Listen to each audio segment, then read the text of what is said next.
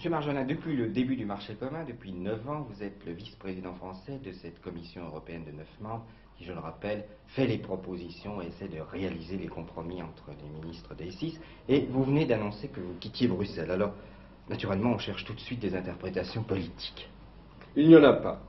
Les raisons de mon départ sont ce qu'on appelle des raisons de convenance personnelle. Pour être plus précis, je voudrais rappeler qu'il y a maintenant près de 20 ans que je m'occupe d'une façon active et quelquefois très active des affaires européennes, car j'étais avant de... Secrétaire général de l'OSCE. Exactement.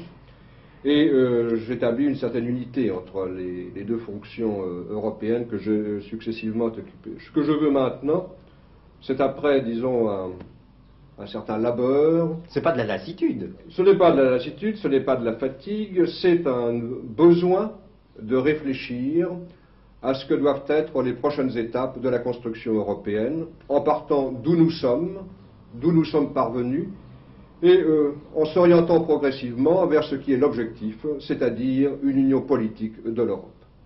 Voilà essentiellement ce à quoi je veux penser tranquillement, afin peut-être, enfin de contribuer euh, de nouveau et d'une façon différente au progrès de l'unité européenne. Donc vous prenez du champ, mais euh, une question que je voudrais vous poser, c'est tout de même quel bilan vous faites après ces neuf ans de pratique, d'autant que vous étiez l'un des négociateurs français du traité de Rome avant?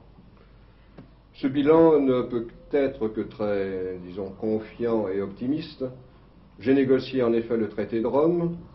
Personne n'imaginait alors qu'en moins de dix ans, euh, on réaliserait ce que, à l'époque, nous imaginions devoir demander euh, au moins 12 ou 15. Avec toutes sortes de clauses de sauvegarde. Avec toutes sortes de clauses de, sauvegarde dont la plupart n'ont jamais été invoquées. Avec un protocole français qui n'a jamais, jamais, été utilisé, grâce à, je dois dire, aux réformes euh, financières et monétaires de 1958. Par conséquent, euh, mon sentiment en ce qui concerne l'action accomplie est un sentiment de confiance et c'est aussi un sentiment de confiance dans l'avenir parce que ce qui a été fait l'a été fait grâce à des hommes qui sont encore là, dans les différentes positions qui leur permettent euh, d'agir.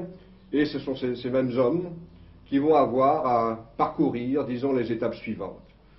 Euh, je rappelais que nous avons fait l'union douanière, nous avons la politique agricole commune, il nous reste pour parfaire le traité de Rome à réaliser la politique commerciale, la politique des transports, l'aménagement des monopoles, la politique fiscale, l'unification, l'harmonisation au moins des politiques fiscales. Euh, tout cela est en cours et on peut espérer qu'avant 1970 ou disons dans les années qui suivront immédiatement 1970, tout cela sera fait. Par conséquent, je pars avec le sentiment que les choses sont bien engagées et que euh, je peux me retirer euh, sans remords. Merci beaucoup, M. le Président.